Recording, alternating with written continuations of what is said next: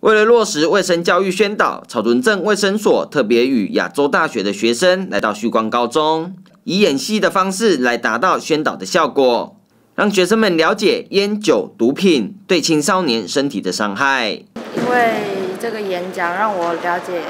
对这个东西比较深入的了解。他有讲到那个忧郁症患者，就是要，就是不能对他说一些话语，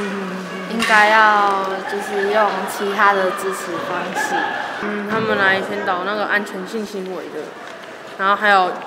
保险套的使用方式，然后烟害烟害防治法，嗯让我们以后多知道有一些毒品的多变性。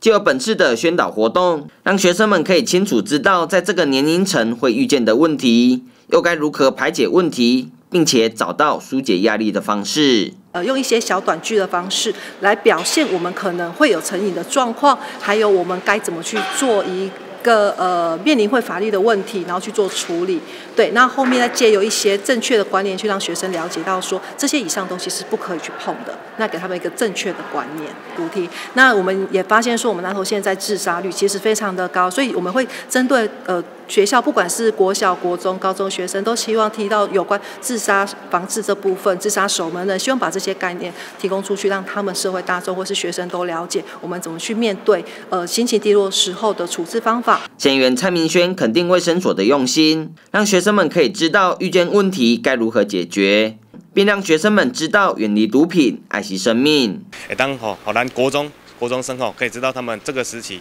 会遇到面临到了啊，当然高中生吼会遇面临遇到的什么一个。问题了吼，啊嘛感谢吼，咱的卫生所吼特别半工吼来给咱的旭光高中，我们国高中的学生吼来做一个卫生的宣导。我跟大家讲吼，这个时期遇到的什么问题吼，让大家吼就可以知道。希望借由卫生所宣导过后，能够让学生们了解烟酒毒品的危害性，以及面对困境时该如何解决、调试心情，建立学生们正确的人生观念。记者刘永胜草屯采访报道。